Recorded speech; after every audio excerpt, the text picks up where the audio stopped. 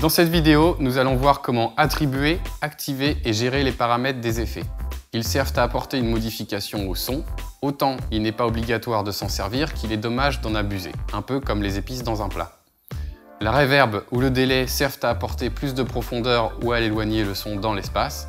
Les flangers et phasers sont souvent utilisés pour donner du mouvement à des synthés ou des guitares, mais on peut également s'en servir sur une batterie. Les filtres, comme nous l'avons vu précédemment, sont de bons effets pour faire des transitions. Le Mixtrack Pro 3 met trois effets à disposition que l'on peut activer de façon individuelle ou simultanément. Pour choisir quel effet attribuer à l'un des trois boutons, il faut maintenir la fonction Shift et appuyer sur le bouton d'effet désiré. Cinq effets sont alors sélectionnables dans Serato Intro.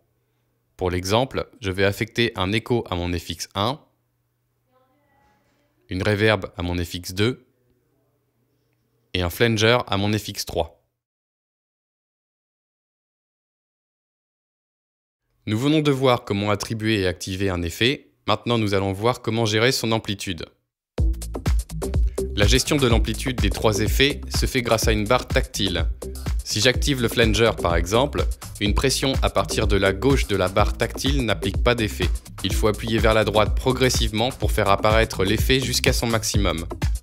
Comme je l'ai dit en introduction, il faut doser l'effet avec modération, sinon le volume risque de saturer et un effet trop prononcé va forcément dénaturer le son.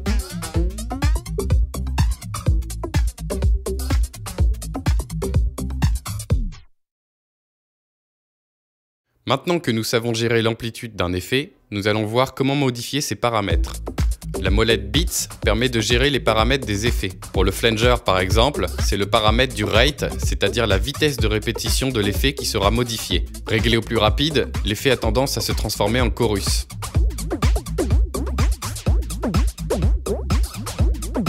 Réglé au plus lent, la vitesse de répétition de l'effet prendra plusieurs mesures.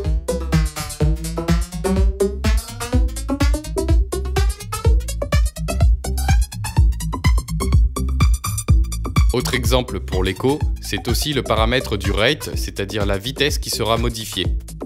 Pour expliquer au plus simple, cela va changer la vitesse des réflexions du son dans le temps.